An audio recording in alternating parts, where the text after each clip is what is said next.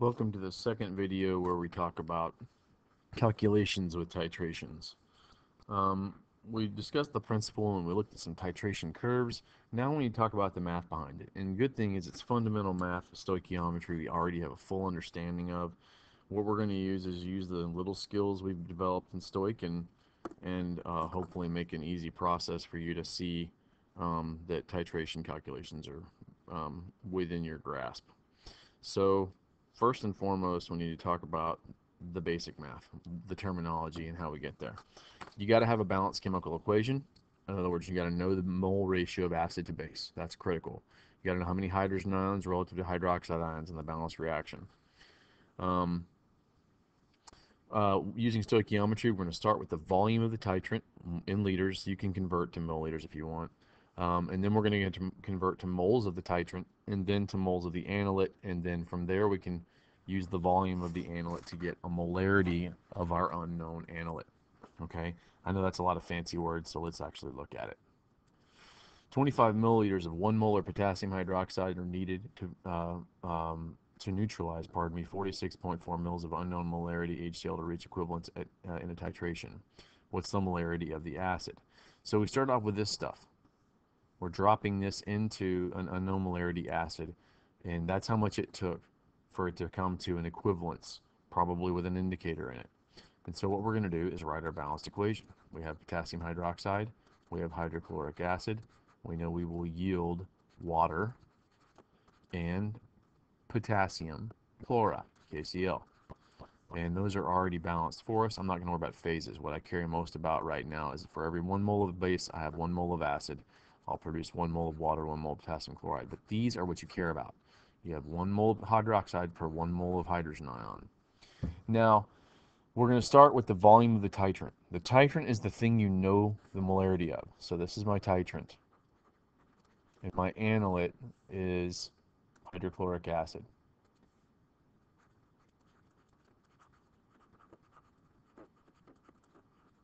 Okay, so when you start your process, you're going to start with the volume of your analyte, 25 milliliters and I happen to know that's 0.025 liters of uh, KOH. And then I will use my molarity to get that in terms of moles for every one mole. KOH. Oh, pardon me, that's backwards. And I just erased the whole thing. So I just need to do a little erasing, not all the erasing. Um, for every one mole of KOH, potassium hydroxide, uh, I know that I have one liter present. So I know liters cancel, and now I have moles of potassium hydroxide. I know from my reaction that for one mole of potassium hydroxide, I would have one mole of hydrochloric acid. Now I'm in terms of moles of hydrochloric acid. I'm looking for molarity of the acid, so I'll simply divide by the volume I used, 46.4 in terms of liters, because molarity is in liters, 0.0464 liters. And our solution is here. So we'll push this into the calculator thusly. We're going to say we have 0, 0.0, pardon me, 0.25 uh, times 1 times 1 divided by 1 divided by 1 divided by 0.0464. Now you might say, why didn't you just divide this by this at the beginning? If you can't see this process take place stoichiometrically, these questions do get a lot harder. You need to be able to discern your titrant from your analyte, and you need to be able to do these when these mole ratios are not 1 and when other funky factors get thrown in. And so the value we get 0.538793, we should have 1, 2, 3, 3 sig figs in our response. And there, that's 2 sig figs. Let's fix that. So 0.539 would be a better answer in sig figs. So let's just go ahead and cross out 0.539 molar hydrochloric acid was in our container. So we just determined stoichiometrically uh, the equivalence, the the volume, sorry, the, the molarity of hydrochloric acid it took to reach this reach this equivalence. Okay. Um, very challenging thing to do. In the lab, titrating is a challenge in itself. Once you get the values in the titration, then you can find that unknown. When the molarity of nitric acid uh, if 15, what, what is the molarity of nitric acid if 15 mils of the solution is completely neutralized by 35, 38.5 mils of 0.15 molar sodium hydroxide.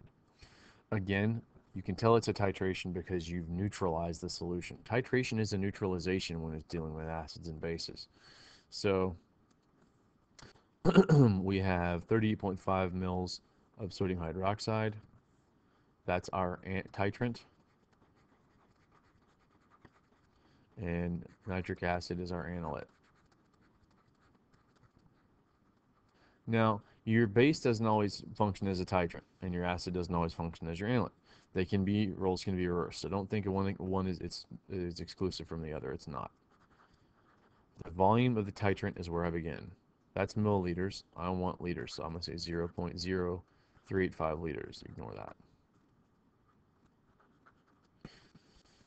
Um, and I know that for every, wait a minute, something's missing here. What could be missing? Oh, my balanced reaction. Nitric acid. Sodium hydroxide. Makes water. Sodium nitrate. Again, with coefficients of 1, so my mole ratio should be 1.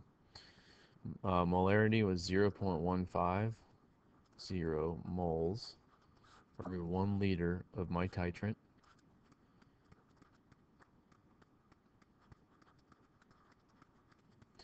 In my mole ratio, 1 mole sodium hydroxide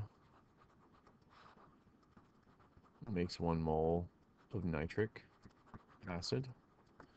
The volume of titrant you use is 15 mils, which is 0.015 liters. And so we should note liters cancels, moles sodium hydroxide cancel, moles nitric, sorry, moles of nitric acid remain.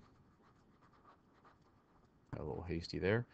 And that's a volume in liters. And I'll simply multiply across, divide by denominators 0.0385 times 0.15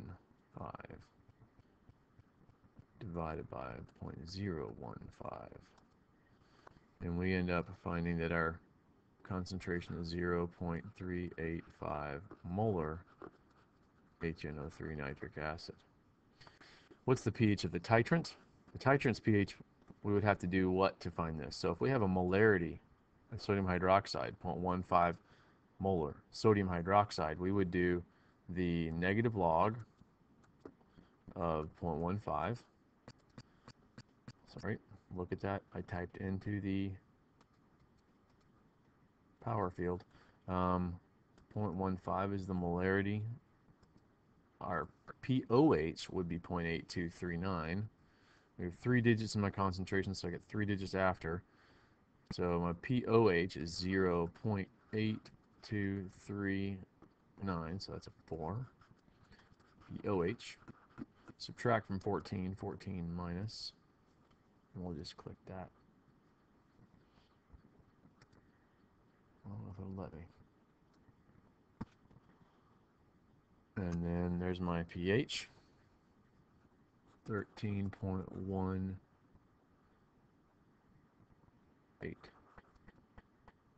Sorry, 13.176. I get three digits after. So, that's my pH. What type of salt is formed? Sodium nitrate. The parent base is a strong base, sodium hydroxide. The parent acid is a strong acid, nitric. So it's going to be a neutral salt. What's the estimated pH of the salt solution formed? 7. And that's because this is a neutral salt. A 25 milliliter solution of sulfurous acid, H2SO3, of unknown molarity is completely neutralized by 18 mils of 1.0 molar sodium hydroxide. So again, with the basic titrant, for this I apologize, we should have done one where there was an acidic titrant. Uh, sulfurous acid is going to be my analyte. And I'm going to titrate now. So I begin with the volume of my titrant, but I got to do my reaction first. Sulfurous acid. A weak acid this time. Sulfuric is strong. Sulfurous is not strong. My salt is going to be sodium, Na2SO3 sodium sulfate. And of course, I'm going to make water. I'm going to need 2 moles of sodium hydroxide. I'm going to need 2 moles of water, and the rest should work out just fine. So in this reaction, I have 1 mole of acid for every 2 moles of base. That's a big, big important factor. So I have 18 milliliters, 0.018 liters of my titrant sodium hydroxide. That's where I always begin. And then my molarity of my, my titrant, which is sodium hydroxide, 1.0 moles for every 1 liter of sodium hydroxide.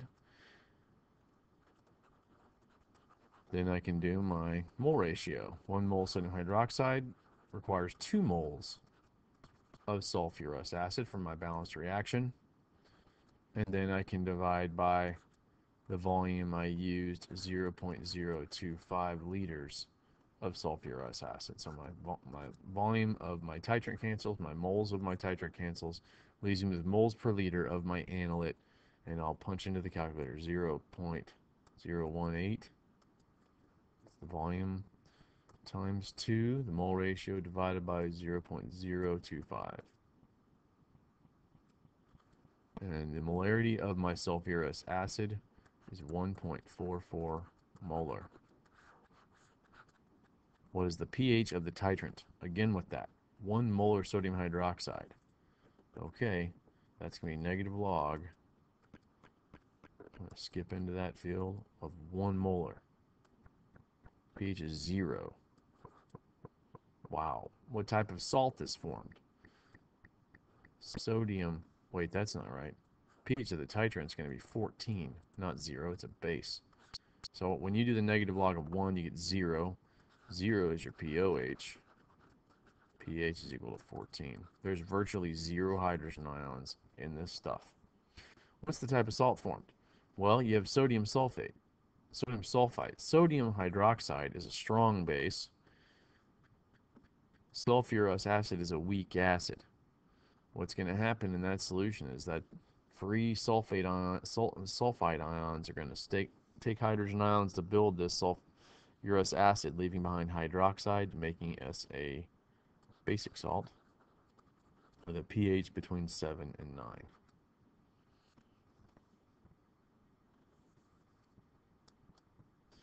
That is the end of the practice calculations for titrations.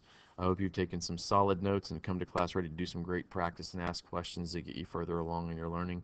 Please see us in class with anything you need and come to tutorials with extra help for extra help. We'll see you on the next one.